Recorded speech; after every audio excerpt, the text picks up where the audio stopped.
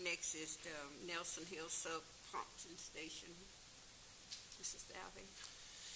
Yes, ma'am. Due to the growth in the area, uh, the current 10 horsepower pumps are at capacity.